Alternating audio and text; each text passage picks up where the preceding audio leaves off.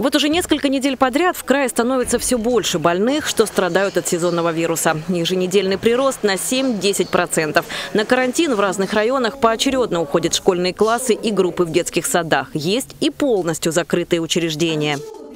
Все равно находимся выше и порога, то есть уровень заболеваемости достаточно а, большой.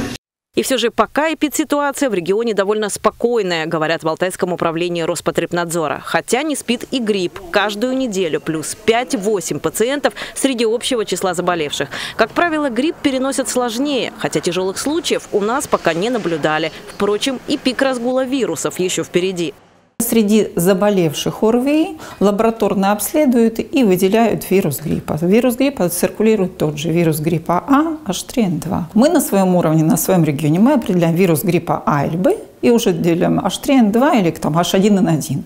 А уже генотипирование, какой ген, гонконгский, сингапурский, калифорнийский, это уже прерогатива научных исследовательских институтов.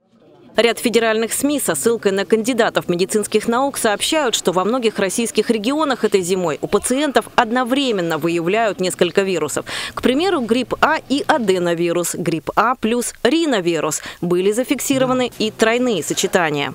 Но мы такого э, не видели, не встречали, чтобы один человек заболел всеми видами респираторных инфекций одномоментно. Да, это может быть по очереди, но чтобы вот одномоментно такого пока не встречали.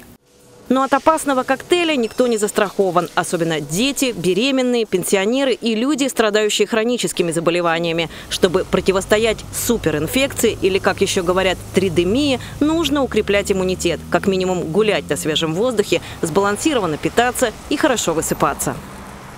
Елена Макаренко, Алексей Фризин. День с толком.